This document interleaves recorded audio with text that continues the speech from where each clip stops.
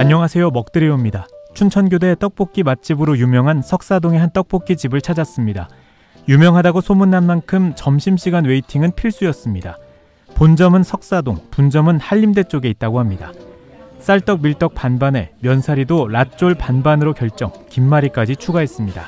따로 말하지 않으면 기본 라면사리 나온다고 하네요.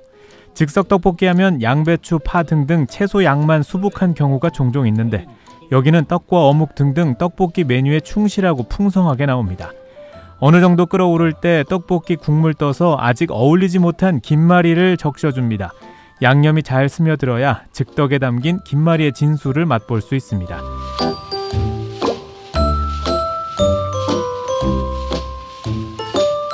다들 아시겠지만 면은 곧 불어버리기 때문에 재료 중 가장 먼저 먹어줘야 합니다.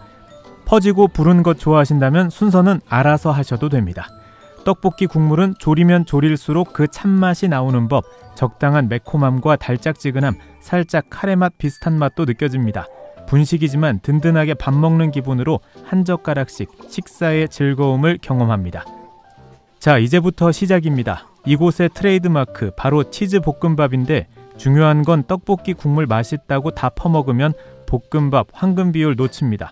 약간의 국물을 남겨주신 후에 완성된 모습을 보면 볶음밥이긴 한데 우리 레스토랑에서 먹는 리조또의 비주얼도 납니다.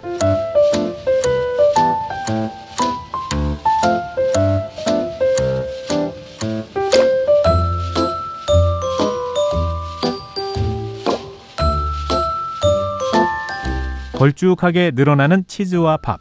분명 조금 전 떡볶이로 배부르다 말했는데 계속 들어가는 거 보면 밥배, 떡볶이 배는 따로 있는 것 같습니다. 앞으로 단골 예약 춘천의 즉석 떡볶이 집이었습니다.